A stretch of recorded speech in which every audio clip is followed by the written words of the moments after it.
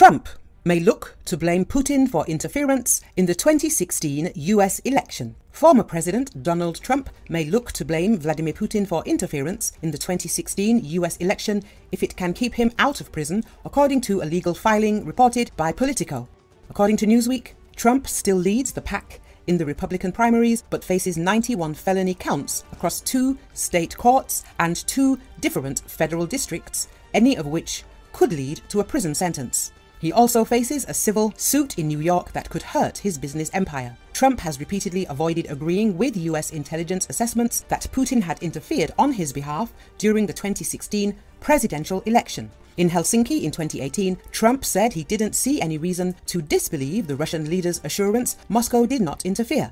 Trump's false claims that the next election in 2020 was stolen from him spurred some of his supporters to try to overthrow the Electoral College vote and sparked rioters to storm the Capitol. It triggered a federal indictment obtained by special counsel Jack Smith, focused on his attempt to subvert his loss. Despite Trump's insistence that Putin had nothing to do with his 2016 victory, which he had termed the Russia hoax, Politico has flagged an excerpt of his attorney's filing disputing Smith's claims that the ex president had damaged Americans' faith in the electoral system because Putin did it first. Trump wants people to know that it was Russia, not him, who caused Americans to distrust the election system, wrote Politico's Kyle Cheney on X next to a screen grab of the legal filing.